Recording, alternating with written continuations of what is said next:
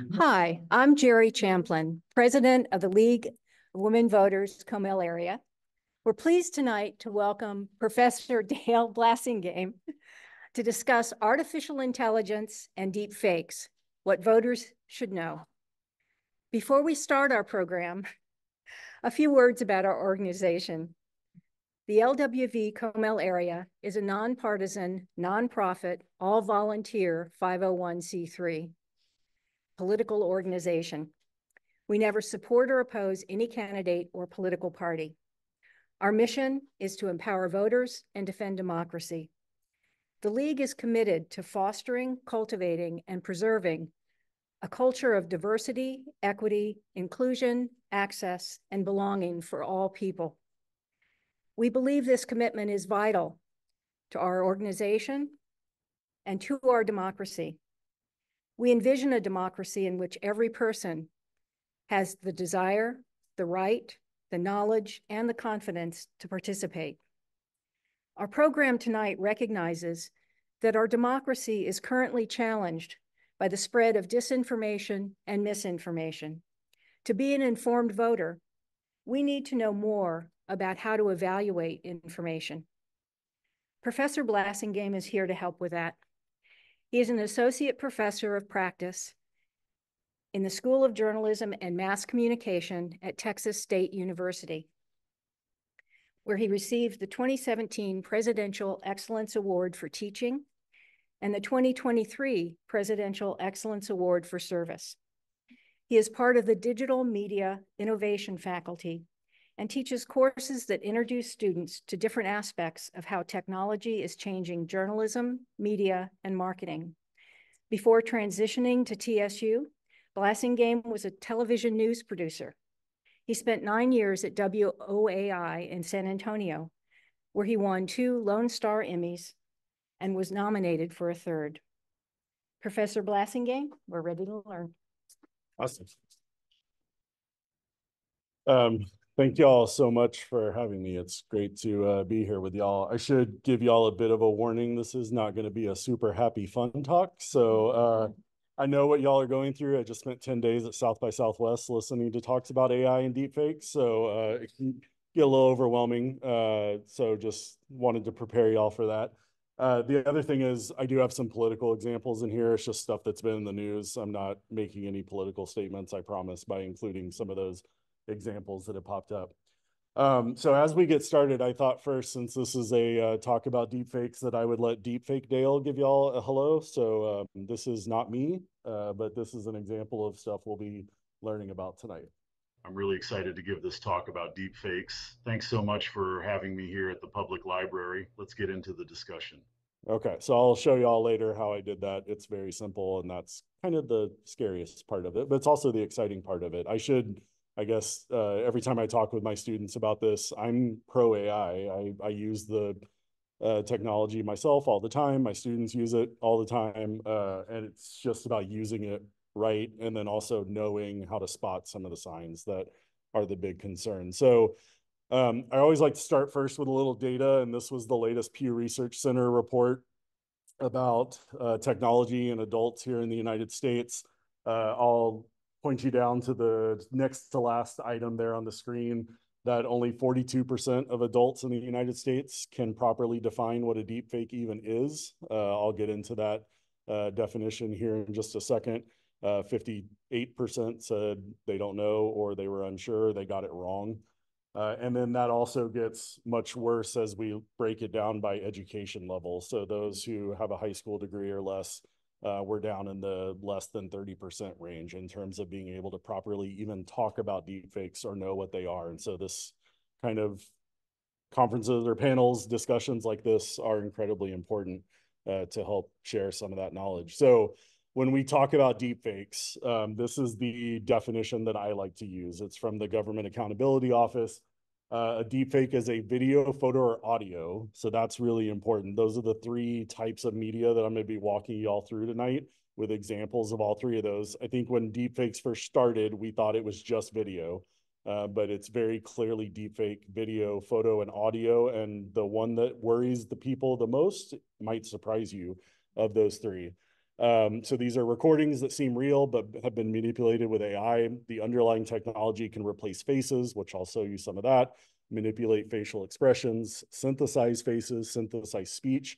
Deep fakes can depict someone appearing to say or do something that they in fact never said or did. So we'll see examples of all of those uh, here tonight. So what does that mean in kind of plain English? Uh, I, I mentioned I was at South by last week. One of the speakers uh, that I listened to said it this way, and I stole his idea. So uh, I, I, liked it that much. He said, if it can be watched, if it can be heard, if it can be seen, then it can be faked. Uh, and that kind of very succinctly puts it into uh, perspective. Um, and one of the things I've always preach to my students is media literacy. And unfortunately, we've kind of let media literacy go by the wayside. That's how we'll, we'll come back to that at the end. Uh, but really that is the key to all of this is understanding what's out there and understanding uh, what may or may not be happening. Uh, just in the past 12 months, there have been more than 100,000 AI tools uh, launched um, some of them very small, some of them probably already gone out of business, uh, but a lot of them have taken hold and people are using quite a few of these. It just kind of depends on um, what type of uh, technology you're looking for and what you're looking to do with the technology. Um, so yeah, again, most of these are brand new, uh, launched within the past just couple of months in many cases. Um, to do that, actually, I I was reading an article the other day about uh, a new app and I went, they didn't even have a website yet. Like that's how new they were. Uh, it's like, man, y'all literally just launched the other day. Um, so I want to break this down by video, photo, and, and audio. And so let's start first with video because deepfake video was the first thing that came along. Uh, I think for a lot of us who kind of study this, this is what we thought was going to cause World War III. Uh, and um, it's still a thing, but I'll show y'all here in just a little bit something that people are much more worried about these days in terms of potential harms and dangers. Um, and the last time I talked with y'all, I think was back in 2022. I showed this video then, so I apologize for anyone who's seen it twice. But this was when deepfakes kind of entered into the collective mainstream. Um, they'd always been kind of lurking around on different parts of the web, but um, this particular video was the first time that a lot of us were introduced to this type of technology. Um, and this was 2019, so five years ago. Technology improves, you know, dramatically every single month. Um, so this was Bill Hader appearing on David Letterman's show. I'm going to play just a little bit of the clip, but he's talking about meeting Tom Cruise. And notice every time he starts talking about Tom Cruise, his face will become Tom Cruise. So you have to kind of watch for it. Uh, but again, this was basically the first time most of us were introduced to this type of technology. I, I, I, was wondering about the one, the uh, the Tropic Thunder. Yeah, Tropic where, Thunder. Where Tom Cruise. You're working with Tom Cruise. What was that experience like? Uh, it was amazing. Like uh, we got to dance together. that was amazing. Um, we had like uh, you know when you do a movie, you do table reads. You know where like all the uh, actors get together. Well, at the beginning of at the, the beginning before anything, you get together and you read through the script. And um, so it's like you know all these heavyweights like you know you know, Ben Stiller, Jack Black, Robert Downey Jr., everybody. And at the end is like me, like, you know, like, hey, happy to be here, guys. you know, like, and uh, some other supporting guys. And then, uh, and then Tom Cruise walks oh in. And even those guys are like, whoa, and he's super stoked to be there. you know, just like, yeah, oh, boom. you know, like, he's like, wow. he's, just immediately excited um, when he walks into a room. And, uh, and uh, so he comes over and he sits next to me. And I think he had been briefed on some of the mm-hmm. supporting guys, but uh, he was like trying to place me, you know? So he sat down next to me. He's like, I. Uh, I love your work. And I went, oh, thanks. Uh, I love your work too, Tom Cruise. you know? So I'll stop it there. So that was five years ago. So Tom Cruise strangely kind of became the face of deepfakes uh, for many years. Uh, some of y'all may have seen Deepfake Tom Cruise, which is a very popular TikTok account. Uh, he's no longer producing content, but um, this is not Tom Cruise. I can assure you, this is not Tom Cruise. This is an interview that deepfake Tom Cruise was doing with Howie Mandel uh, for his podcast. So I'll play a little bit of this. how were you able to maintain, like, just not get sick during the flight scenes? It's really peak fitness, Howie. You know, I'm always multitasking. So I got sick. I mean, a lot of those G's, you're, uh, it's, uh, I vomited, but I kept my mouth closed. I swallowed it. So the camera never notices, and it's pretty good protein. Do you enjoy fame? I enjoy pushing myself to the limit. I enjoy the breath control, doing interviews on podcasts while also maintaining peak fitness regimen. What's your problem with UV rays, Howard? How come you're always wearing glasses? So um, this is actually the guy behind uh, the deepfakes. Now he does look a lot like Tom Cruise, so he has that advantage. Um, the technology didn't have to work super hard to convert his face into Tom Cruise. Um, but I want to stop here and ask y'all why you think Tom Cruise was a good candidate for a lot of people to test this type of technology on. What about Tom Cruise makes him a perfect candidate uh, to do something like this with? very recognizable, right? Everyone, I could show that Bill Hader clip to any group around the country and they would recognize when his face shifts into Tom Cruise. What else? Lots of video and not just a lot of video, but spanning very young Tom Cruise to current age Tom Cruise, right? So they had this entire wealth of video clips to load into the systems to be able to train the the technology on how to do that. If someone was doing a deep fake on me, they would struggle because I mean there's some video of me out there, but there's not nearly as much as there is with someone at the level of Tom Cruise. So um, again, I, I, I don't know if it happened intentionally or if he just kind of became the name of of deep fakes or the face of deep fakes for a while. Um, but it makes sense when you stop and think about it. Um, deepfake Tom Cruise was on the Today Show last year, and they asked him, uh, has Tom Cruise ever been in touch with him? Because Tom Cruise is quite litigious, as y'all may know. Uh, and he said that they did reach out to him to try and do like a little partnership or something. And he said no to that, but his lawyers said something like, "We're going to let you keep going." Though it's like Tom Cruise gave him his blessing essentially and said he wasn't going to sue him over using his likeness or anything like that. Um, so I want to show y'all how some of this technology has been used in the political world or the geopolitical world. Um, this was a video that went viral. I hate that word, but I'm gonna have to use it a couple times today. Uh, in 2022, so now we're talking, you know, two and a half years ago. Um, this was of the Ukrainian president supposedly issuing an un unconditional surrender to Russia. Um, and I really want you to look uh, just from the little bit you've seen of deepfake Tom Cruise, you can tell a quality difference with this. So as I play this for a few seconds, um, you know, pay close attention to his face and his neckline and his jawline and all of that. Українці, шановні захисники, бути президентом виявилося не так вже й легко. Я змушений приймати складні рішення. So you can probably see the quality. Like this is a much lower quality deep fake. Again, probably a lot of it has to go back to that. Yes, there's a lot of video coverage of Zelensky, but there's not nearly as much as you know. We have hundreds and hundreds and hundreds of hours of Tom Cruise movies alone, not counting his interviews that we could load in and do that. So fast forward to today, um, and this is how far the technology has come in a very short amount of time. This is uh, Elon Musk as Iron Man um, from the Avengers movie. And again, just pay attention to the quality level of this just in a very short amount of time and how quickly it's changed.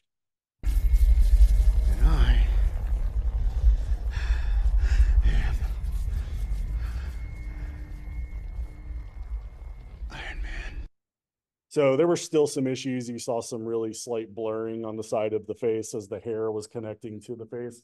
But that's 4K resolution on a screen um, pretty good, you know, facial movements to match the the words and, and things along those lines. So the the thing that I mentioned earlier, I'm pro AI. I use the technology. I teach the technology.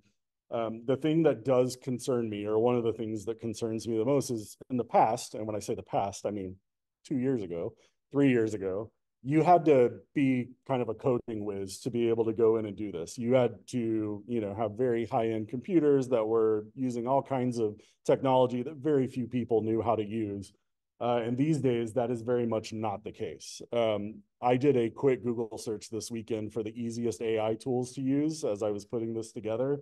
Um, and this one popped up and I'll show you the results of it, but I want to show like a one minute little tutorial on what this free tool can do. And I'll show you the results. It took me 30 seconds to do uh, some of this stuff. So here's a brief look at a, one of these tools. This one in particular is called Akool. Akool is the hub of AI tools.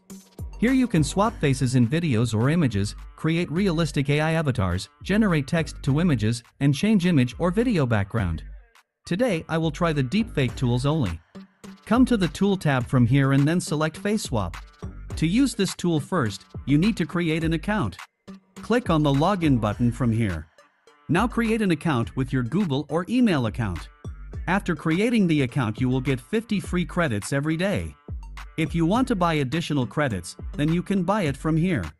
Alright, let's move forward to creating a deepfake video. First, you need to upload the target video. You can drag and drop the video clips here or click here to upload the video. I will upload this video. Just drag and drop the video. It will take some time to analyze the video clips. Once it is completed, you can see the preview here. Now come to the right side. Here you can see this tool detected face in four angles. Your result might be different from mine, depending on how much motion your video has. Okay, now we have to upload the source image. You can use a sample image from here. I will use this image. After uploading your source image, just drag and drop the image in every face detection block. After all is done, scroll down and hit the high quality face swap button from here. And AI has started its work. You can click on the result button from here to see the result. It will take some time. Let's come back after a few times. And here it is. You can see the result.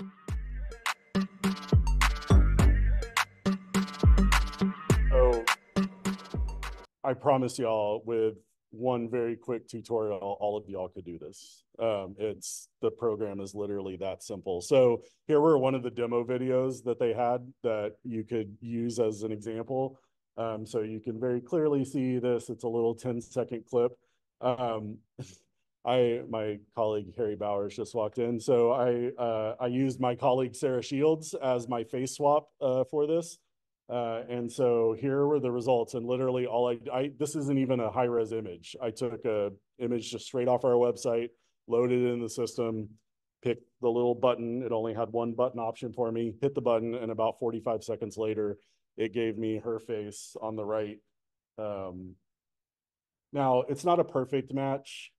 Um, it looks uh, the eyes are pretty good, but the uh, you can see the blinking looks a little weird. I would spot that if I was looking at this with a curious mind.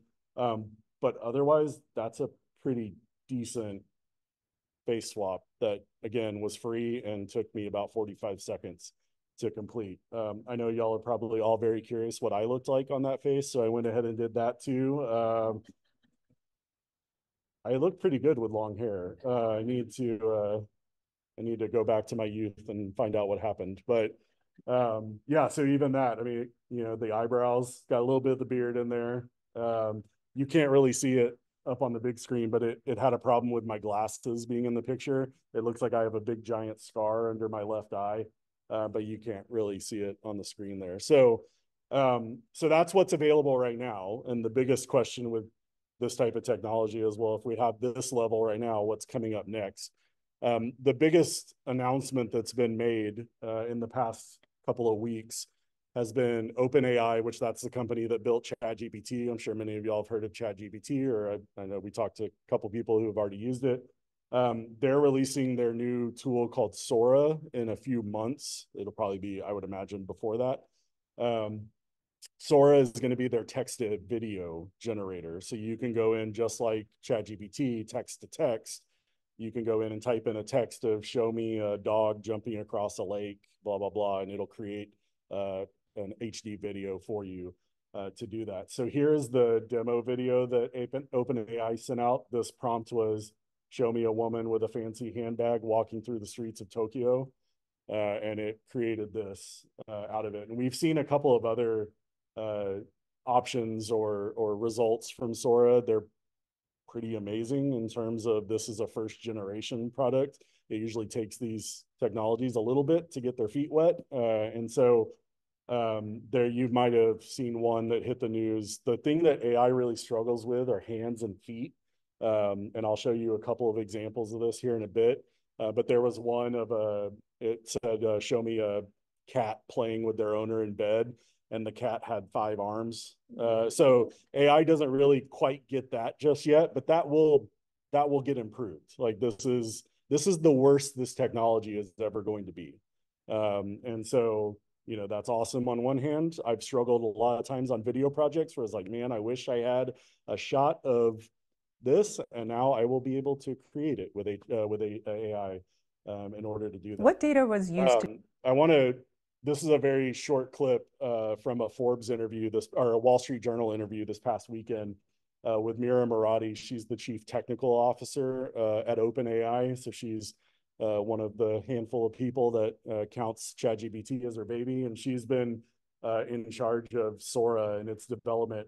Um, she's normally a pretty brilliant person. This made me very nervous. This little interview, particularly this little clip that I'm about to show you, where the Wall Street Journal out, or uh, the Wall Street Journal reporter asks her, "How what are y'all using to train Sora to create these videos?" And this was her response. what data was used to train Sora?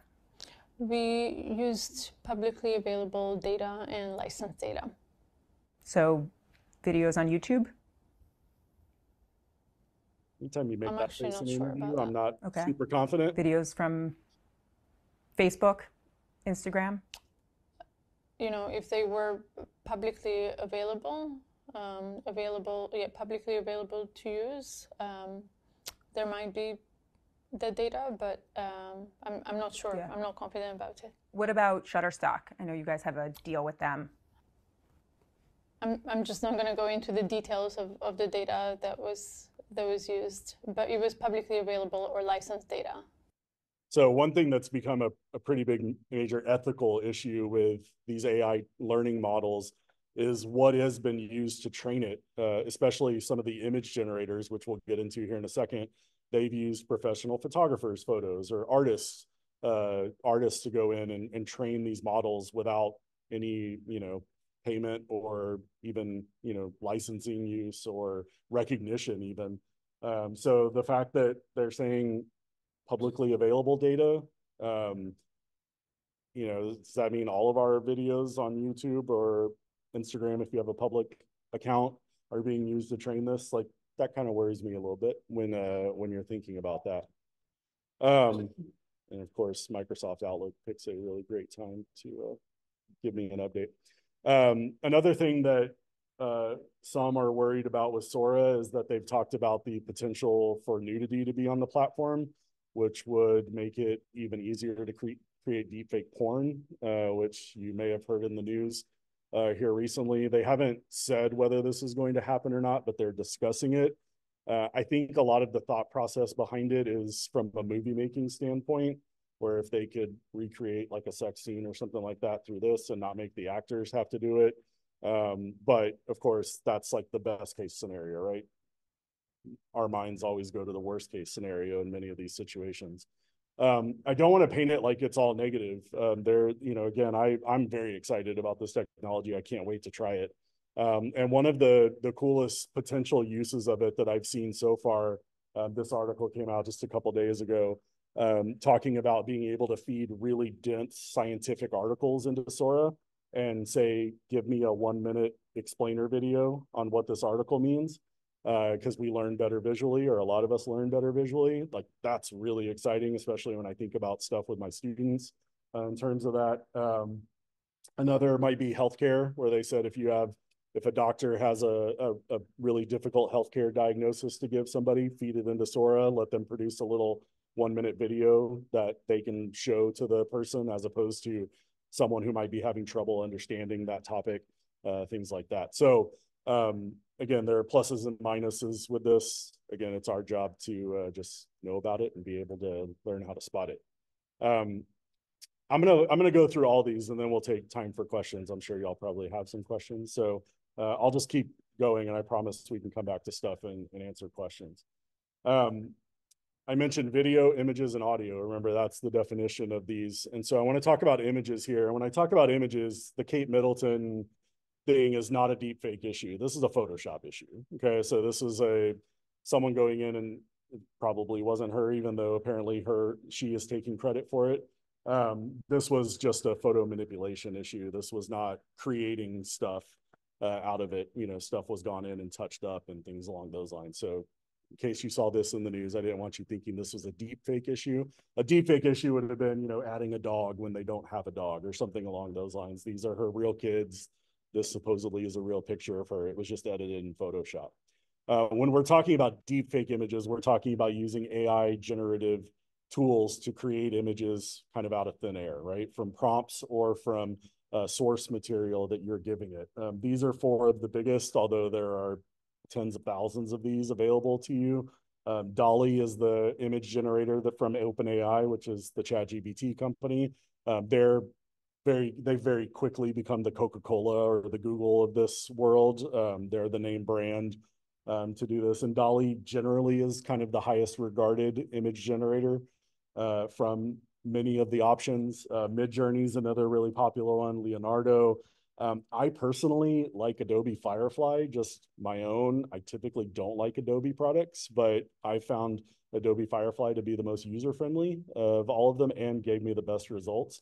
So your mileage will vary based on what you're looking for and, and how you want to use it and things along those lines.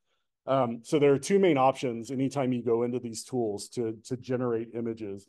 Um, and I'm going to show you examples from both. The first is what's known as text to image. So just like we saw text to video, ChatGPT is, you know, text to text basically. Um, this is you entering a prompt and telling the AI generator to create an image of whatever it is you're trying to do.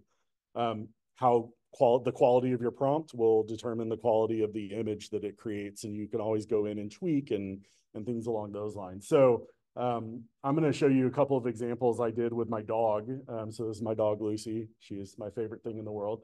Um, and I used her as the source image for this because if I would have just gone in and said, create an image of a dog, it's just going to create a generic dog, right? I wanted it to create Lucy um, to do this. So first thing I had to do was go in and load a couple images of Lucy in there to give it an idea of what I was talking about. I especially wanted ones where her face was very clearly seen. You could see her eyes, you could see her smile uh, things along those lines. Um, this was one of the first prompts that I did. I said, create a picture of my dog on a hike in front of Mount Hood in Oregon, one of my favorite places in the country. And you can see it looks a little cartoonish.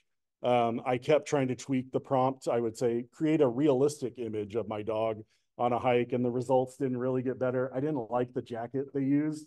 Um, and one of the images I had, she has a red hiking jacket and it took that and just would not get off of this whatever this is that it created uh, for her hiking jacket. So i could not for the life of me get them to remove that hiking jacket. So i just kind of went with the best option available from them.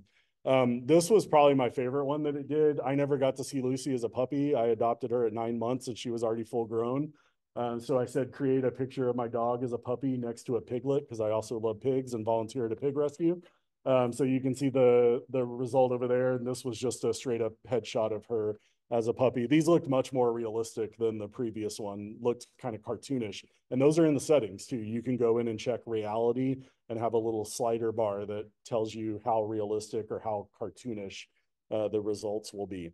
Um, we also have AI influencers. So these are not real women. Um, these are people who have been created uh, and have millions of followers on Instagram and TikTok and have OnlyFans accounts and have deals with brands. Um, the two on the, the right, so the middle one and the one on the right, she has 2.5 million followers. She has almost 4 million followers. Um, this one was in the news first, but she only has a couple hundred thousand, only a couple hundred thousand uh, followers. So you go to any of their accounts, it looks just like any other kind of typical Instagram influencer, varying stages of dress, um, you know, some brand endorsements, things along those lines. Um, the the thing that really impressed me about the one on the right the most Um, she has some videos on her account, which again, the videos are usually what trips or gives these away as kind of dead ringers because the video is not quite at the quality level that the photos are, are at. Um, and her videos were pretty decent. Like, you know, I don't know if I wouldn't have read the article about her that I would have immediately thought, oh, that's an AI influencer. Um, so it's it's a very fascinating world. This uh, uh, one thing I would warn y'all: if you ever read an article about AI influencers, I wouldn't really believe the article very much. A lot of the folks who have created these people um, like to talk about how much money they're making off of them, and almost all of those have been debunked. Um, the one in the middle, the guy who created her swears he makes fifty thousand dollars a month on endorsement deals, and Forbes and the Wall Street Journal have all debunked all of that. Um, they might potentially be making money. I'm not saying they're not making any money, uh, but they like to talk a lot about how much money they're making, and they're they're usually not. Um, but this is quite easy to do. So I went into Adobe Firefly with my students last semester in my social media class, and um, we were, I'm a big hiker, so I told it to create an 18 year old female hiker to be used as an influencer for a company that makes hiking shoes. And all four of them I was wanting to do if I was wanting to create a post about, you know, a specific pair of shoes. Now, I needed to get way more specific. If, if I was REI and wanting, or Dick's Sporting Goods, and wanting to actually promote a specific brand of shoes, I would have had to upload images of those shoes. Uh, if I wanted to say I wanted to go with the one, the second one from the left, I would then have to upload her images to be able to create and replicate those in other situations. Um, but for a first go, all four of these I would have been happy with, and all my students, you know, we were we had a long discussion about uh, how any four of those would have caught their attention on Instagram or something along those lines. Um, okay, so let's talk politics for a second. Um, if AI was only being used for this, I wouldn't be very worried. Um, these are some of the funnier ones of Trump and Biden being buddies. Uh, there's some really great ones of them out camping that I wish I could find the great quality level to show on a big screen. It just wasn't possible. Um, so I picked a couple that would pop on the big screen. Uh, unfortunately, as you can probably guess, this is not what AI is being used for mostly. Um, we've seen a lot around Trump, especially uh, on both sides of Trump, whether you're for Trump or against Trump. Um, this was uh, the day that he his first arrest. So this was in March of last year, around a year ago this time. Um, and this guy was waiting and watching the news that day and just said, I'm going to start creating images of Trump getting arrested while I'm waiting for him to get arrested. And he started posting these on Twitter and they started going viral because people thought this was the actual arrest. Uh, even though he very clearly, you know, again, once the cat's out of the bag and you lose the context of the original tweet or the original message, the context is gone at that point. There's no putting the genie back in the bottle uh, when it comes to that. Um, this is something that just happened in the past week. Um, a lot of images like this were um, starting to get passed around to uh, help show support in African American communities um, from Trump. It's a pretty good AI generation. Uh, it's kind of hard to tell because we've got the red bar across it. He looks a little uh, clearer than the actual subjects of the photo, so I would have suspicions if somebody asked me to look at this photo and tell them whether it was real or not. Um, but you know, it's a pretty good version of a of a deep fake photo. Um, and then you get the ultra realistic, and Trump has actually shared both of these on Truth Social. Um, the one on the left is one that he uh, reposted. I mentioned the fingers and the hands and the arms as where AI struggles. If you notice, he has six fingers. Um, so that's usually kind of a dead ringer of AI generated photos. Um, but both of those look really well done, uh, very ultra realistic in terms of the quality of the production uh, and things along those lines. So um, we have seen some of the tools try to limit the damage that images that are not real could cause uh, Midjourney, which is one of those big four that I, I showed you the logos of earlier. Um, they are not allowing any images of Biden or Trump being used. The problem is they're just one of the four. They're not the biggest by any means. Um, and the people who are doing this for actual harm don't care about rules anyway. So um, any rules or you know roadblocks you might put in someone's way. A lot of this technology, Midjourney isn't, but a lot of this technology is what we call open source meaning anyone can go in and look at the code and they can just take that little part out um, that they don't like in terms of, you know, blocking something or putting a watermark, which I'll talk about here in a second uh, on it as well. So again, they're trying, um, they're doing more than the social platforms are doing. I will at least say that, give them that much credit. Uh, but I don't know how much of an impact it's honestly going to make uh, as we get closer to the election. Um, these are also the platforms or the ways the Taylor Swift uh, deepfake porn controversy happened. Y'all may have heard about that uh, a couple weeks ago. Um, it's the one time since Elon Musk has taken over Twitter where he apologized for something uh, because she was getting very close to suing him. Uh, and uh, the lawsuit never happened because she essentially disappeared from Twitter for about three days. They took away every reference, even good references to Taylor Swift, while they could try to figure out what was going on and how these images were uh, being created and shared. The images had been around for a while, but as soon as they started being shared on there, they spread like wildfire. And so, um, yeah, it was a, a, an interesting thing to follow um, for a couple of days. And I'm, it's probably the closest we've come to a discussion about regulation on this uh, technology that we've seen so far. Um, the problem with regulation, as with many things regarding our government, the regulation is so far behind the technologies that once they even, you know, once a law comes up and by the time it gets passed, by the time it gets signed, the technology's, you know, 50 steps ahead already and already doing other things. So, um, not to paint a completely dreary picture, but I wouldn't count on regulation being the thing that's going to solve this uh, by any means. So that's the first type of image generation is that text to image. Um, the other one is generative fill. And what this is, is where you're taking a real image and you're adding to it. Um, so you're either removing something from it and replacing it with something, uh, or like I mentioned with Kate Middleton, like if they would have added a dog to the photo, that would have been a generative fill issue. Um, this is a tool that you can, or this is a type of image that you can either create in any of those uh, you know, companies that I mentioned earlier. This is also available in Photoshop very easily. It's a very one click in Photoshop to be able to do stuff like this. Uh, my ex-girlfriend has given me permission to use this uh, in talks. So um, this was a picture of us on the beach. Again, I'm in just Adobe Firefly here. This is a free tool um, that you can go in and do this. Um, so all I did was I selected subtract down here uh, and it allowed me to go in and blur myself out. So I've set the parameters for what I wanted to remove. And then if you notice down here, I said replace with a bald bearded man. Uh, and this was the result uh, from that. Um, pretty good when you take, like, especially if you look at the edges of where I was and where the replacement is, they, some of them were horrible. Don't get me wrong. This was some of the better uh, work.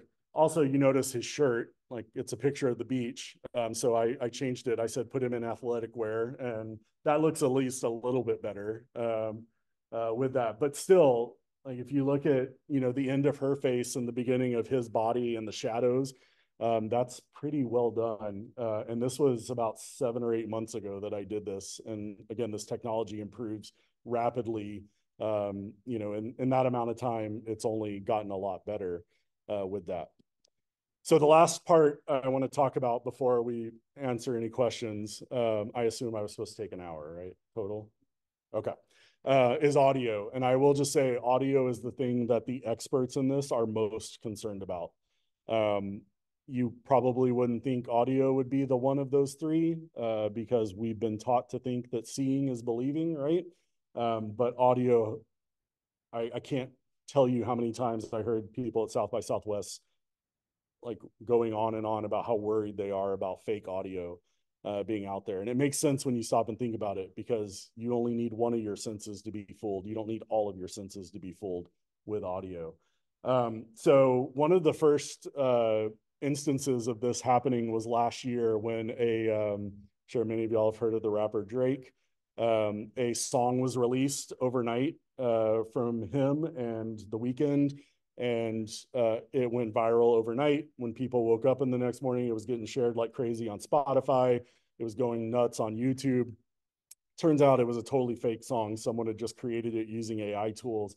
Uh, and so here's a video of how the guy actually created the song. And again, this this is sped up. Like, don't get me wrong, it's a little one minute clip, but Um, didn't take him very long to be able to do something like this. I came in with my ex like Selena the flex, ayy. Bumping Justin Bieber, but I fear I ain't left, ayy. The exact preset that was used you can find in Addictive Keys.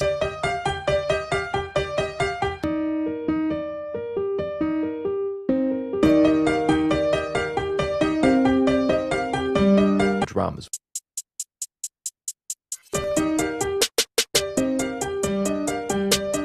Spins 808. The vocals. She know what she need, oh I need, oh she bless. Uploading those vocals to an AI generator. She know what she need, oh I need. Add a de-esser. She know what she need. Auto-tune artist, making sure that he's in key. Some light reverb on top. So this is the final result. Got my heart on my sleeve and the knife in my back. What's with that? Hey, 21, I love him. That's my brother. That's my slap. Hey, made the So um, there's a lot of this on the web. Some of it, again, is not necessarily scary. Like Drake got really upset that somebody created a song that he had nothing to do with using his name. Uh, but a lot of these are just meant to make you laugh. These are a couple of my, there's an Instagram account called I Ruined It For You. Um, and so here's a Johnny Cash version of a Taylor Swift song. Hello, I'm not Johnny Cash. So it's gonna be forever, or it's gonna go down in flames. You can tell me when it's over, if the high was worth the pain. Got a long list of ex-lovers, they'll tell you I'm insane. Cause you know I love the players, and you love the game, cause we're young. And uh, here's the original Hank Williams doing Dr. Dre and Snoop. I'm representing for them gangsters all across the world. Still hitting them corners in them low lows, girl. Still taking my time to perfect the beat, and I still got love for the streets. Well, Dr. Hank is the name, I'm ahead of my game. Uh, so we uh, we have seen examples of this being used already in the political world. Uh, the presidential election in Slovakia late last year, it was in December. Um, a couple days before the election, uh, someone released a deepfake audio clip of the main one of the, I think he was the guy in the in the lead uh, before the election. They released a deepfake audio of him saying he was going to raise the price of beer if he gets elected, and he ended up losing the election.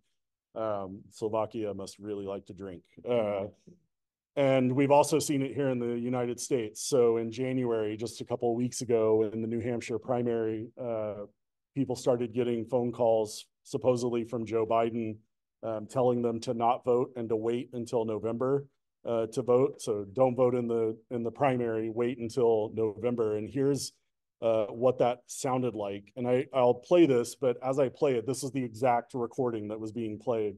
Um, one, listen for the quality of the audio. It's pretty good to me, but they got really sloppy. This is an incredibly sloppy edit job because this is how it started. Is the New Hampshire presidential preference primary. Republicans have been trying to push nonpartisan and Democratic voters to participate in their primary. What a bunch of malarkey. We know the value of voting Democratic when our votes count. It's important that you save your vote for the November election. We'll need your help in electing Democrats up and down the ticket. Voting this Tuesday only enables the Republicans in their quest to elect Donald Trump again. Your vote makes a difference in November, not this Tuesday. If you would like to be removed from future calls, please press 2 now. So if they wouldn't have left that little part in the beginning, that would have been pretty well done. Uh, and this did, like, you know, this ended up confusing a lot of people and, and concerning a lot of people. Uh, they actually traced it back to two companies here in Texas that were making those calls. And I think you mentioned beforehand the League of Women Voters is suing suing uh, over it um, and doing so in New Hampshire as well. Um, so remember at the beginning, I played Deepfake Dale for y'all. This is how I did that. And I just want to show you how easy it is to do this. Uh, so I went to an app called 11 Labs, simple free account to sign up for. Um, I just selected the text to speech option. If you look right here, it asked me what voice do I want to use. So it came with like 20 presets of, um, you know, academic British woman, uh, you know, down home Southern gentleman, stuff like that. Well, I wanted it to be my own voice. And so I clicked add voice. It gave me a prompt to turn my microphone on and I just talked into the mic for 25 seconds and it produced this uh, as a result of me doing that for 25 seconds. I'm really excited to give this talk about deep fakes. Thanks so much for having me here at the public library. Let's get into the discussion. Um, and if I would have moved the lever, there was a realism lever on it. Uh, I pause a lot when I talk, and it added more pauses. It added more ums uh, with that, and it was really freaking me out because I'm very conscious of my pauses. Uh, so I, I edited them out. I didn't want them, bless you. I didn't want them in this, uh, but it it did add those in as more realistic uh, with that. I did add in. I was going to add in an, interv- an interview with uh, Trump and one with Biden to create some stuff for y'all. But you can notice 11 Labs when I entered the Trump one in uh, said you're using something that is blocked. So just like uh, uh, Midjourney is blocking the use of Trump and Biden, 11 Labs is. But again, this is just one of the tools. It's not all the tools uh, that are out there, and this is the main one. So you know the the bad actors, so to say, are probably not using 11 Labs. This is what you know production companies and things like that are using uh, to create this type of content. Um, so in terms of worries, there's probably a ton. um, I just want to go over a couple of the things uh, that I heard at South by last week. Uh, Donie O'Sullivan is CNN's main reporter on misinformation and disinformation. Um, when they asked him what should we what should we be worried about going into this election season, his exact answer was everything. Uh, but this was a little bit more in depth than that. Uh, he said there's a lot of focus on videos and fake images and deepfakes. I think in this election cycle, the biggest worry is audio. Um, and in particular, his biggest worry was not the release of fake audio, it was the release of real audio that people will now no longer believe because any candidate can just say, well, that wasn't me. Um, you know, he went through a long litany of, you know, uses where audio has been key in political races. Um, the most recent probably being the Access Hollywood tape, where he said if that was released now, there would be no acknowledgement of it. It's just like eh, that was AI. I didn't. I never said that, right? Um, and so that that was more of a concern for him rather than fake audio being produced was real audio being claimed to be fake. Um, and by the way, uh, fake audio is not just a political concern. Uh, LexisNexis's CEO uh, just last year said they were expecting a trillion dollars in cyber fraud to happen because of deepfake audio over the next year. Typically, when it comes to people cloning someone's kids and calling and asking elderly parents for money, um, confusing over social security or you know insurance plans or things like that, um, they can have someone that that person actually knows. Now it's not a robocall anymore, or it's not a you know, a, a stranger or someone, it's their daughter or their son um, that would be making the call with this. Um, one of the other major concerns came from a group of journalists I saw talking about this, and they were concerned that journalists are no longer the gatekeepers of information, uh, which I don't think has really been the case for quite a while now, but especially these days um, where the damage is done once this stuff is released, right? By the time it takes us as journalists to debunk this information, it's already got millions of hits. People are already on to the next thing, right? And so when we come out and say, oh, that wasn't real, the emotional damage is already done. We've already trained our brains to either believe it, not believe it, but still have seen the damage of it in our brain, uh, even if it's something uh, that we kind of know is fake or know is AI generated, still the the result of hearing it or seeing it has an impact on our our judgment as well with a lot most of, of the major social media um, here's probably the leading ai expert in the country talking about this uh, and i want to i'm almost done i promise.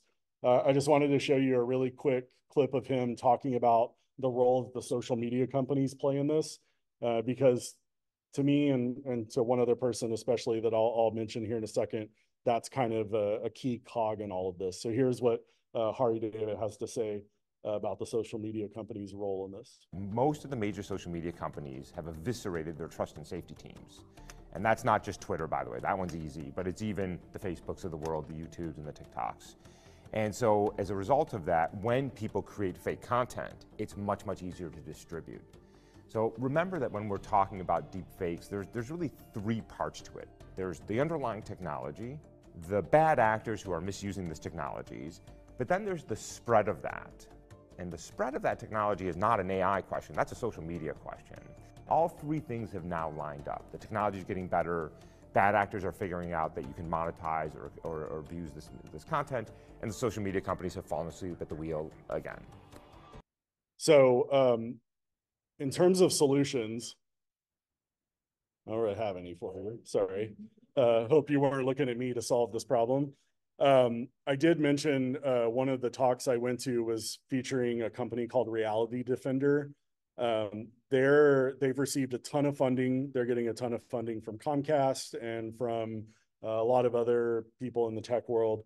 Um, they have created a tool that, without giving judgment to the content, is probably the best tool we've seen so far in terms of being able to spot whether it was AI manipulated or not. So they're not saying this is a AI manipulated piece of disinformation. They're just saying this is an AI manipulated piece of information. They're not saying you shouldn't believe it or you shouldn't enjoy it or you shouldn't laugh at it. They're just able to tell you whether it was um, manipulated by AI or not. Um, and the problem that I had with them as I was sitting in the crowd for this talk, the technology looks great. They gave several demos of it. You know, it was, it was doing its job as it was on the screen. It's not available to the public. Um, they're only wanting to sell it, or right now they're only selling it to governments and social media platforms. Um, and that makes sense from a you know a money a money standpoint, from a business bottom line standpoint, because having to sell technology like this to the public, they're not going to be able to charge nearly as much as they would if you know Facebook or Meta buys this to be able to use on its entire platform. Uh, but Ben Colman, the, the founder of Reality Defender, said fundamentally, we believe the platform should be required to scan for generative media just to give consumers an ability to understand that what they're seeing is AI generated or manipulated. Right now, they do nothing. And it's really that last line that probably worries me the most is sure, like uh, Professor Farid mentioned, Twitter gave up on this a long time ago, but Meta at least gave the illusion of trying to do some things with this. TikTok for a while was giving the illusion of trying to do things and they've all just kind of thrown their hands up now and said it's too big of a problem. We can't do anything about it at this point. Um, so one of the potential solutions that people have talked about is watermarking this content and we're not talking about watermarks like you see on an image right? Like that's a traditional watermark. This would be metadata watermarking where there's information in the source code of a video or information in the source code of an image information in the source code of an audio file with metadata that says what program was used to create this, when it was created, things along those lines. Uh, Adobe came out late last year and said they're going to start requiring this in images that are AI manipulated in Photoshop. It will include this watermarking. That sounds great and all. The problem is the bad actors don't care about this. And again, you can go in and remove that watermark very simply on most of these or from most of these uh, platforms that are doing this. And so sounds great in theory not going to solve the problem. It's like, you know, putting a piece of bubble gum on a, you know, a massive leak that you have uh, with that. So really the only solution that most people can come up with is it just comes back down to media literacy and knowing where you're getting information from, spotting some of the signs of stuff that might be manipulated. Um, you know, we used to have the saying seeing is believing. Well, that's not true anymore. Hearing isn't believing, watching isn't believing um, and really just being very cautious with any piece of content you see, especially if it's on social media. Um, trusting sources that you trust, knowing what you know methods those sources use to be able um, to go through and verify or debunk uh, content is is really key. So um, thank you. I'm sorry uh, and hopefully we will get some solutions. I originally had a quote from Ben Colman on there that said the average person has no chance of figuring this stuff out, but I took that out because that would have been too depressing. And then I just told y'all anyway. So, um, but anyways, I'm I'm happy to answer any questions y'all might have.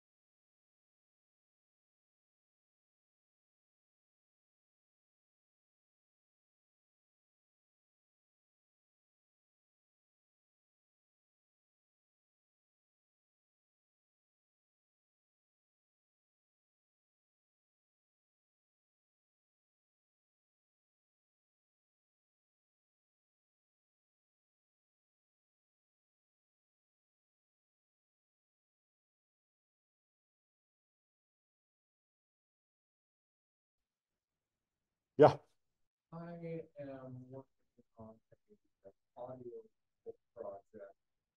uh, Considering eleven labs professional category with a couple hours of audio input. Is eleven labs at this point the big goal? Yeah, for audio. Yeah.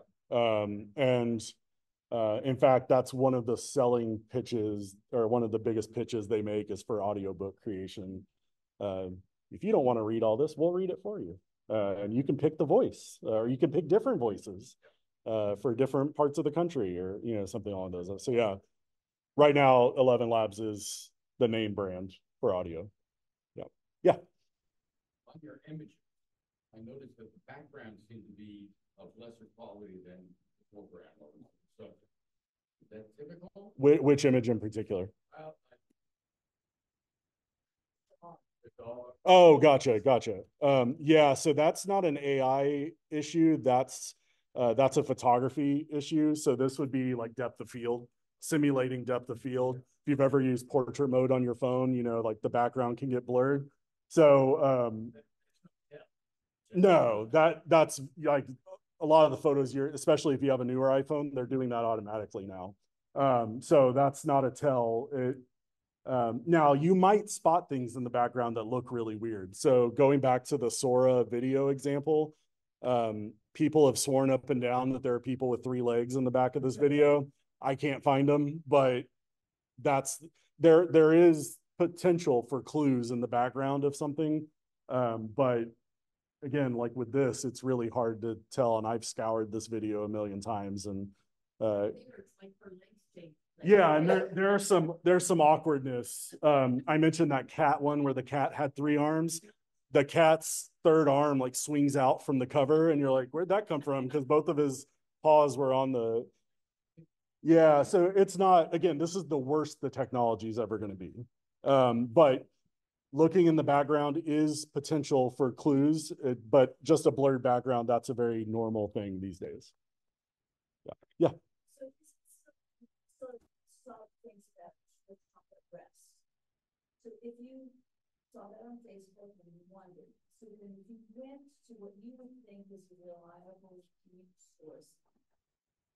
It, if the picture is, as inflammatory as, as, as that, if it doesn't show up on another news source or a couple of them, then you, it leads you to believe it's not something with as big as as that day was where you could easily turn on whatever your TV news, Fox, CNN, whatever your station of choice would have been, you would have been able to watch that with your own eyes. And if those, I don't know why I skipped right by them, but if those particular images in, you know, these right here, yes. this would have been replayed on TV every two seconds. So that when it's something like this, that's a pretty easy one, but still people got confused by it and shared it thinking it was real. Um, but again, you're exa- exactly correct that your common sense at that point is probably going to be your best North Star. Where if this happened in real life, we would be seeing it plastered on every TV every minute of every day for the next five weeks or the next five months.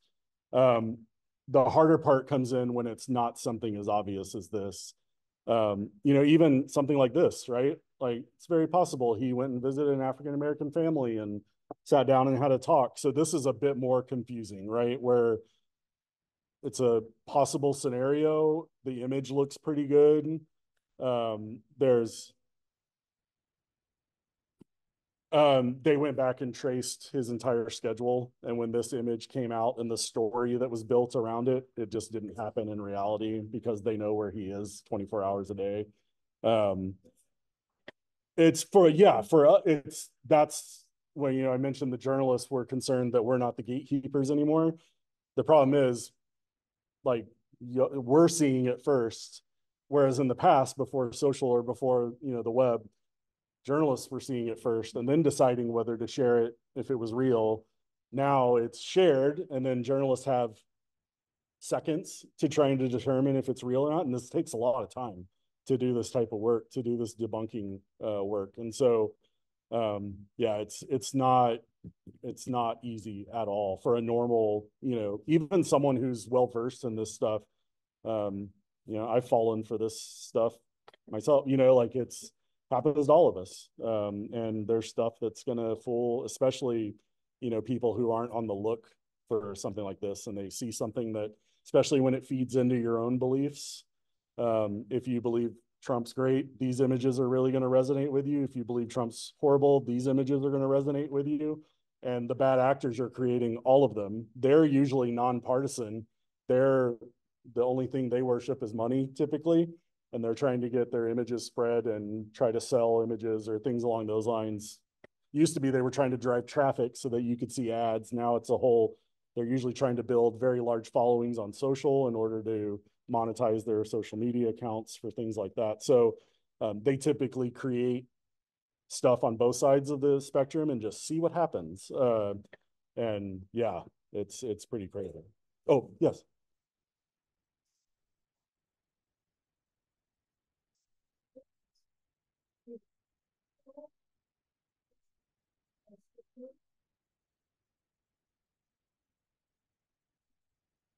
So right now that falls under the FTC, uh, typically related to social. And where we've seen that come into play is with a lot of influencer content.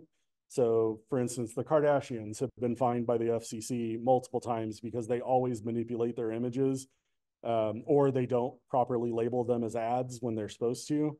Um, the problem with that, in theory, again, it, you know, it sounds like a, a good idea. The problem is the length of time it would take for something like that to be put in place. And then the other problem is the relationship people have with the government itself of not believing the government or putting all their faith in the government, you know, trying to walk a very fine political line there. Um, and so, um, plus the, the amount of time it would take to debunk it, it's still gonna, you know, journalists have been trained on this for decades and are the experts in this. And it still takes newsrooms sometimes weeks to figure out stuff.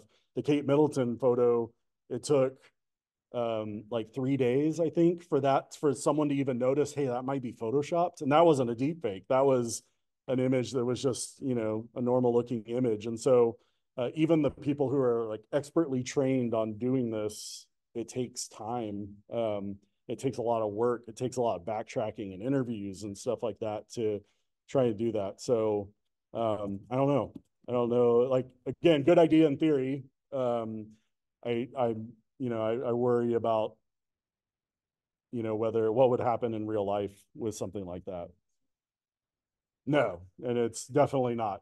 The moneymaker is the other side of the equation. The moneymaker is um, there's a reason why there's a reason why I couldn't find any Biden examples of this stuff because Trump sells. Either you hate him or you love him.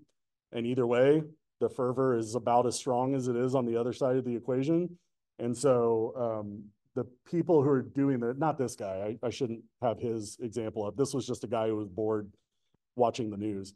Uh, but the people who are doing stuff like this, creating this type of content, they're um, Ben Colman had a quote, um, controversy sells. And, you know, there's never been a more controversial name one way or another than Trump when it comes to this. So they're they're just flooding the market with content of Trump on both sides of the equation. Um, and again, it's going to resonate with some people. It's going to resonate with other people. They just get it out in front of everyone um, and let the dominoes fall where they where they fall. Might not be a fair question, but your students of a different age than I'm sure that, as you said, they're they're wild about the technology. Do they have a comment or do you, sense how they feel about politics in this environment? Um, no, I try pretty hard to, I try really hard to not talk about politics in the classroom. Um, it's, it's hard not to because it obviously, you know, you can't talk about Twitter these days without talking about politics. Unfortunately, they're just linked together at the hip. Um, the one thing I will say in terms of stuff I've noticed um, with the students is I think there's a general lack of understanding across the board, especially with tools like ChatGPT, that that information is coming from somewhere. It's not just a giant brain wrote that for you. It's like ChatGPT is just combining, you know, six to 10 of the most read articles on a specific topic and coming up with a conclusion or a recap for you. I think they're, um, I think a lot of, not just students by any means, but I think a lot of people treat Chat ChatGPT as a, a source of information and not necessarily uh, an assistant trying to get to information. So if that makes sense. Um, that's information on the web too. So ChatGPT has no idea if information's true or not. It's just going with the most widely cited or most widely used information. So when you you mentioned those subdivisions that didn't exist, those are out there somewhere. Somewhere there's a website about these subdivisions that don't exist. Um, or you know, like I I usually show my I uh, before I talk about ChatGPT in class, I always ask it who I am, and every time it has a wildly different answer. There's a ton of information of who I am on the web. ChatGPT still gets it wrong all the time. It said that I was one of the most uh, the best one that I love, I wish it was real. It listed me as Time Magazine's one of the top 100 people in the world of analytics. That would have been amazing.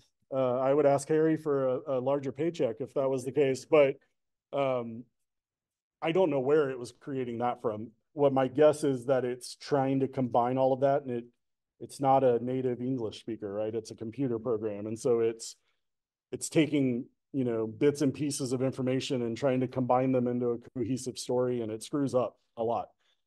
Now, OpenAI would tell you it's getting better every single day, and it's going to get to the point where you trust it like we trust Wikipedia now. You know, if you remember when Wikipedia came out, all you heard was, oh, you can't trust that at all. And now Wikipedia is one of the most trusted sources on the web. Um, and so ChatGPT will get to that point in a pretty decent amount of time. I'm not expecting it to take years. It will be a matter of months before, uh, you know, the the information is or the computer is trained well enough to be able to give you a much. And I, I will tell. I think I mentioned to you earlier. I get much better results using Copilot, which is Microsoft's version of ChatGPT. Not a Microsoft fan at all, but Copilot, love it. Um, it gives citations, it gives links, uh, to help with that. It, it, very much paints the picture of this information came from here, so you know where it was coming from. In that case of the subdivisions, if it would have given you that information, there would have been a citation next to it where you could have clicked the link to be able to see where in the world did you come up with these citation, you know, these fake subdivisions that it mentioned to you. Um, and so I'm um, the the last thing I'll say on that. Sorry, I'm I'm weaving all over the road here to y'all's questions, but a lot of these tools are all using the same technology. So like Copilot, Microsoft is the biggest investor in OpenAI, which is the company that creates ChatGPT. So even though Copilot is Microsoft's standalone uh, tool, if you do image generation through it, it's using DALL-E, which is an OpenAI product. If you're using Bing search, it's using ChatGPT. So these companies are all kind of linked and you're never getting a true like separation of the different models because they're all kind of working together right now, or at least with the biggest companies, they seem to be. Um, again, I'm I'm saying I like Copilot more from a user experience standpoint because I like the layout of Copilot. I like the references. I like the citations. Um, I have noticed the the results I get with Copilot seem to be a bit better than ChatGPT, um, but I also canceled my subscription to ChatGPT, so I'm using the older model of it. If I was using the newer model, I might not be all that worried about the the results. Because the older model the the free version of ChatGPT the learning stops at a certain point. And that's why they get you to pay for the new one because it's constantly learning. Um yeah. Sorry that was a very long answer to that question. Yes? How does uh ChatGPT tie in or what is the difference between ChatGPT and uh, AI so it is AI. So it's just a different, we talked about, this was about video, images, and audio. ChatGPT would be kind of the text equivalent of that. It's just, it's a, te- uh, OpenAI is the company that created ChatGPT, but Microsoft is their biggest investor. Um, and so, yeah, there's a, everyone has a, Google has a Gemini, uh, everyone's coming up with their own GPT. GPT stands for generative, oh gosh, I hate acronyms. Um, I can't remember what the P is for, but it's basically just a learning language model where you enter in a text prompt and it gives you a response like you're having a conversation with someone. It's it's like a chat bot on steroids. ChatGPT the uh, limited version of it, or, or the older version of it. Three, they call it three point five. That's for free that anyone can sign up with. If you want to use the latest model of it, you have to pay twenty dollars a month. Um, Google is the same. They have a free version and then they have an advanced version. Um, Copilot is available. Like we have a contract with Microsoft at Texas State, so I get access to Copilot for free. I don't know how much it costs for like a general. If you have a Microsoft 365 account, you might get access to it. Um, but they're all kind of working on that same business model of having a, it's they call it freemium, where there's a free version for everyone and then a paid premium version for those who want it. Yeah, there was a question in the back, and then we'll come. in the selection from main bad actors, China and Russia? They're all this. Yeah, um, I don't know. That, um, yeah. That's, that's the million dollar question. Yeah.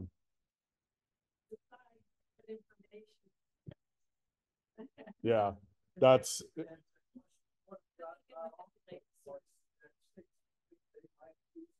yeah. Yeah. I'm, I'm not dodging the question. I, that's the million dollar question. And you think that is gonna be effective? Um, I'm sure there will be, ins- I mean, we're already seeing, you know, people trying it with that. Um, yeah, this is the first election that we've had this technology, so we have to keep that in mind. Um, I'm sure there will be instances of attempts with it. Um, again, having sources that you know are doing their legwork when it comes to verification and um, stuff like that is key. Using common sense in a lot of cases is key. Looking for any potential things you can spot um, to question things, especially if the content you're seeing is on social. Um, you know, one of the easiest things you can do on social is look who's sharing it. Like if it's, you know, I'm just gonna, my uncle shares a lot of political stuff.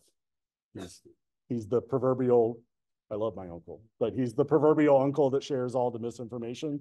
Um, and I can take one second to look at the account that originally posted the content and know it's misinformation almost immediately. So um, that's not a foolproof plan, but especially on, you know, Facebook or Instagram or somewhere else, that's the first place to start um, with that. Yeah. There's a question here and then we'll get to, yeah. The audience side, well, The election, um, could we say that you had to say who, paid for this or who did this? Um, Somehow check that. Theoretically, yes, except for the bad actors won't be doing that. So if, if they don't claim it, then if no one says, if it says nothing, then you could just, you could say it's not true, or if they said something. Yeah, you could kind of reverse, reverse engineer it where, but the other thing is somebody could easily add a one line on it saying this call was paid for by Americans for Joe Biden or something. And then, you know, yeah, they could just lie about it. Um, in theory, again, if it, if everyone was being good actors, yes, you could trust that as a, as a potential method. The problem is it's the bad actors we're worrying about in this case. Yeah. What level do you feel that the traditional news outlets, uh, Time Magazine, New York Times, newspaper, NBC News, do they check their sources to determine, and do they ever get fooled by? Um, so do they ever get fooled? I, it's hard to say no to that because I do know of instances. It happens pretty rarely though. Um, most of most legitimate news agencies these days have people who their sole job is to look for misinformation and debunk misinformation. They live in that world. There are entire agencies like Storyful that are doing nothing but debunking information and then alerting their newsroom partners about it. Um, so the again, I think the problem comes down to it takes time to do that. Even if you have a team of people, you know, Donie O'Sullivan from CNN is one of the absolute best in the world at this stuff. his team, it takes time. Even, even though they're some of the ones that I think are the best, it still takes them, you know, days, sometimes hours, at, in a best case scenario, hours um, to do it. And by that point, there might already be 6 million views on a video or, you know, an audio might have hit the point. And now, uh, so he does almost all of his reporting is debunking information that's gone viral on social. So that's why you you may have seen like especially on the Trump photo. Um, let me show you this one in particular. Um, different organizations have different ways of reusing misinformation or disinformation. A lot of people will put a big red X on it. Um, some will just, you know, put like they're putting it across Trump's face so that if they put it down here, what would everyone do? They just crop it out, right? But if you put it across Trump's face, that ruins the uh, the image itself. And so um, they are smart in the way that they reuse that content so that they're not spreading it more. Uh, and so anytime you see stuff like this, that's general again, but you have to trust the source. Like anyone could have just gone in and put false on this. You know, it yeah. Yeah. And that that was Donie O'Sullivan's main worry was that people, whether it's the actual candidates themselves, whether it's just you and I, are going to start saying real stuff is not real because it's now very easy to claim that, and we have no way of knowing. Um, yeah, think I'll and I'll use the Access Hollywood tape as another example of that. Remember, the worst comments that people were most in an uproar about were said when they were on the bus and you weren't seeing them. So even though, even the stuff where you could see them talking, they could still claim, well, that's not real. People swap my face out, but especially the stuff where their faces weren't visible, right? Um, and that's the stuff now. I mean, if that tape came out today, that would be a non-story within five seconds. And we would have no way of ever, unless somebody came to us with the hard copy of a tape and said, look, I was working at NBC when we did Access Hollywood and I hear the original, but even that, be like, well, how do we know what you're saying is true? You know? Um, so yeah, it's, it's a, yeah, it's a crazy situation. Yeah. right there, right? Uh, now, so you can see the orange, and then of course there's some different skin colors. and obviously the shade. That, that's actually a real picture on the right. Um, yeah, it's this one on the left. That's a, it's a AI generated photo. That's the end of makeup. Oh, you're talking about this right here? That's something called bokeh. Um, that's just a photography. That's a light in the background. So this is to go back to your question about background. Somebody asked about backgrounds earlier. Um, this is called a very shallow depth of field. So it's a trick with your aperture on a camera. If you've ever used portrait mode on your phone, you know that that's what it does. So when you're using that type of effects or photography technique and you have a light in the distance, it's going to turn those lights into very uh, well big circles like that that are blurred and that's called bokeh and that's a very normal thing that's just a set of lights that were in the background so like if you take a picture of a bar at night and use very shallow depth of field there's going to be a big string of circles along the way for the lights. Yeah.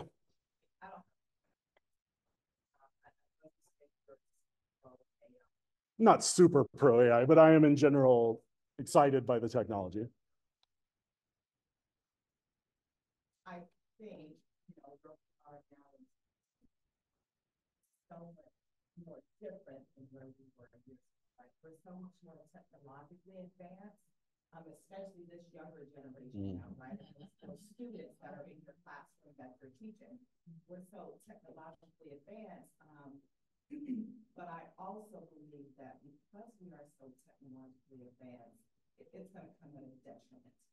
Um, and AI, because you're pro AI and that's great, um, it's gonna come at a detriment because I think we as society always look for the bad actors and things, right?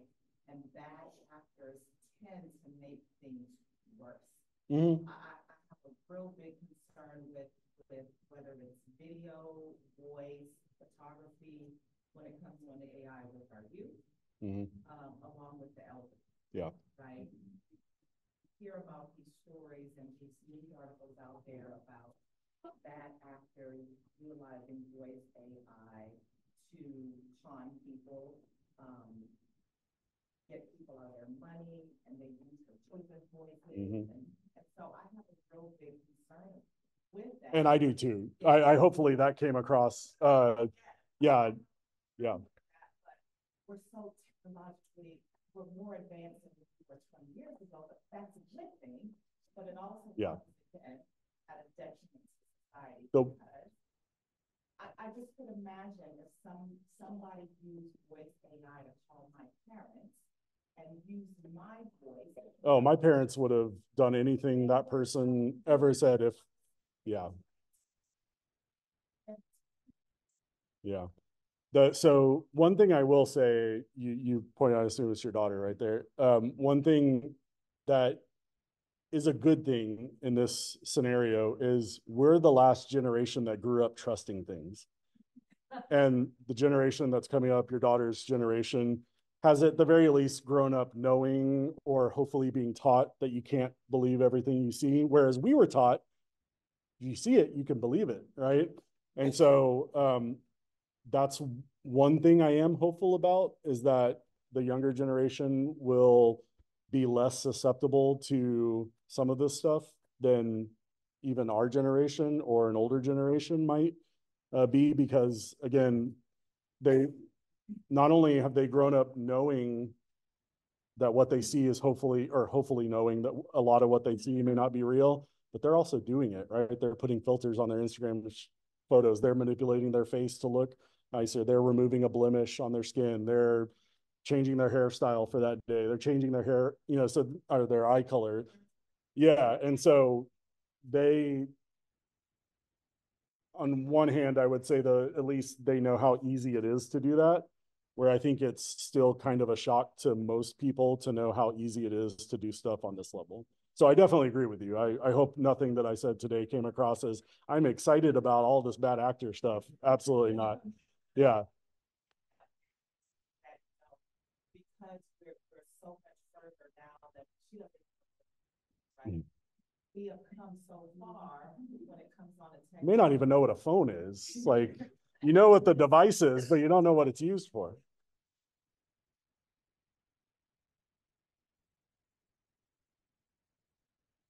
there are so many things that's gonna hurt us because we haven't advanced so far. And not just in the US, we're talking other Mhm, countries It's global. that will use that same technology and has used that same technology against us.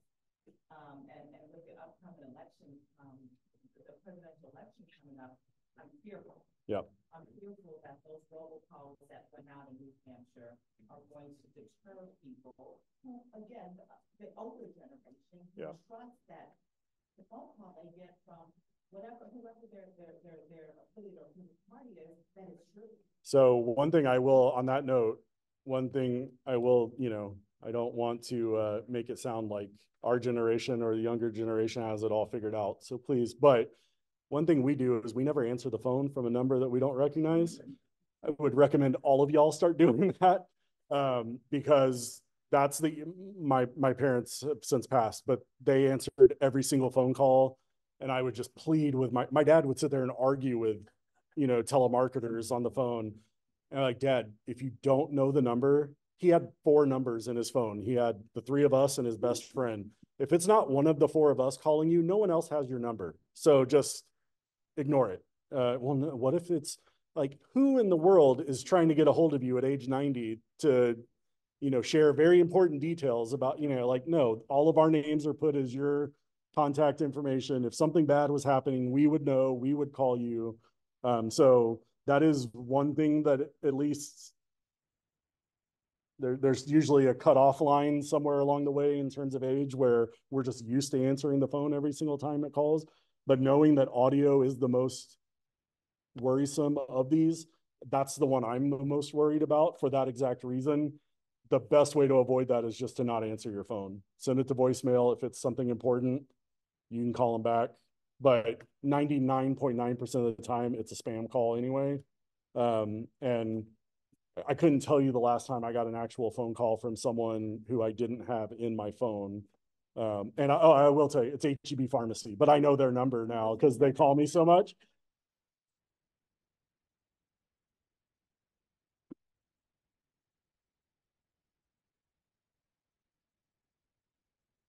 Yeah, yeah, Whatever it is, right? Or, or doing things, right? Well, then- yeah, yeah.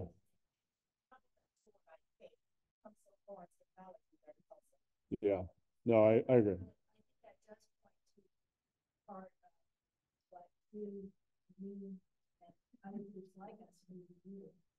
We need to get the best information out Yeah, and not share. I remember that from your, your talk, and this just really reemphasizes not sharing something if you don't know where it came from. Yep. You know, you're not It, it used to be when I talked to y'all last time, the biggest worry was sharing links that you hadn't actually read yourself. You were just sharing the headline. And it was usually because it was in either supporting you or infuriating you in one way or another. And you never actually clicked on the article. You just shared the link.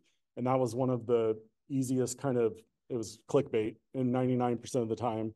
Um, and now obviously the worries are much greater than that. But that was just two years ago that I had that talk with y'all. And that was my big like plea then was please read the articles. Yeah. yeah. the scary stuff we saw with that, that's what people get, I get a percentage. Big percentage of young people get their news on social media. I would never think, yes, I mean, I wanna see my friend's vacation. Let me, um, But that's where they're getting their news, that's why it's. I just talked about this in class yesterday. So I'm, They are also technologically advanced, right? I, I, I use her as the event, I can't pry that phone out of her hand, and she's on social media. And, you know, it's like, well, what's going on in the world with social media? And because it's social media, clearly it's true. I mean, So- Clearly it's true, because it's, media, that's when they. I, I pretty much only believe pictures of my friend's dogs. so this uh, Pew Research just released this study a couple weeks ago um, related to where people are getting their news. Uh, and if you look, TikTok is now already third. Uh, and it's tied with, well, it's tied for second now with Facebook, and you see Facebook's number is going down. So by the next time Pew does this study in six months, TikTok will be the second biggest news source we have uh, in the country, and Twitter is falling very fast as well. So I would guess by the time this report is done next time, TikTok will be our leading source of news. And when COVID started, TikTok was doing a really good job at, at monitoring this information, and then it just got too overwhelming, and they were one of the platforms. Will be shutting down in fifteen minutes. Um, If you need to get a break, please come to the help desk at this time. Thank you. Yeah, so, yeah, well, we'll stop now, yeah.